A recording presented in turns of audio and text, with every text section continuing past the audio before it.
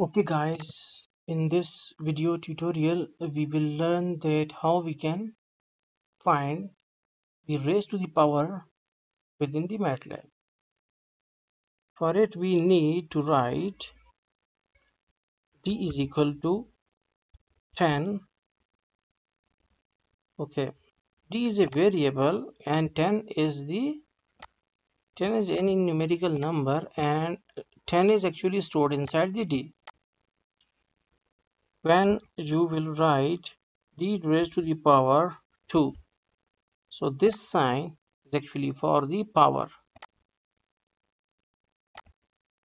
And you can also write e is equal to d raised to the power 2 means that first MATLAB will perform the raised to the power function that is 10 square because d is 10 and then the answer will be stored inside the e. So we will run it and you can see that our answer is displayed here. Also if you want like uh, g is equal to 10 raised to the power minus 2 then what it means that it is 10 raised to the power minus 2 means that it is like divide that is 1 by 100 so we will run it and we got that g is equal to 0.01 so hopefully you got the